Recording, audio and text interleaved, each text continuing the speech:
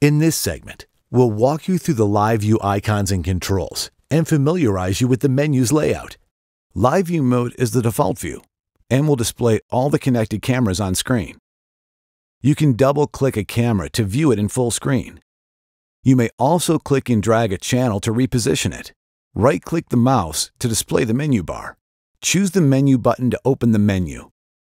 Now, enter your username and password to access the menu, then select OK. You can also select 4 camera view, 9 camera view, start auto switch, the search menu,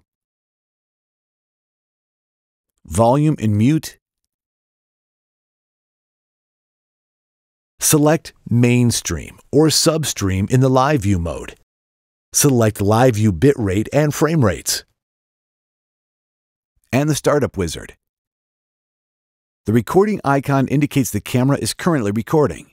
The Running Man icon indicates your NVR is detecting motion. The PIR icon indicates a camera has detected one or more warm objects. The red S icon indicates an analytic event with activity being recorded. The video loss icon indicates that a channel has lost its camera feed. Right-click on the Live View screen to display the camera toolbar. Right-click anywhere on the screen, then select the menu icon, and then select Setup to open the main menu. The main categories are shown on the left. Selecting a category will reveal subcategories, allowing you to alter the settings. Make sure to apply your changes to save them. The Display tab allows you to change camera names and adjust image settings, create a privacy mask, and more.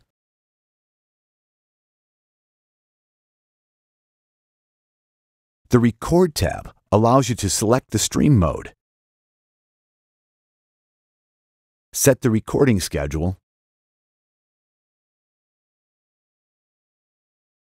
and change resolution, frame rate, and control bit rates.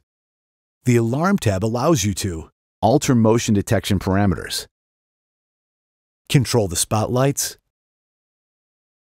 control the siren, control the warning lights, define a motion detection area.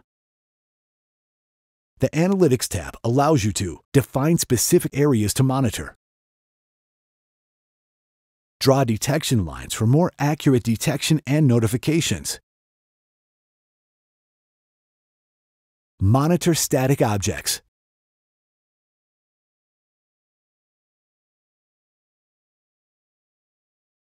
The System Configuration tab gives you control of some of the most basic functions of the NVR, such as device name, language, and video format, date and time, and general device information.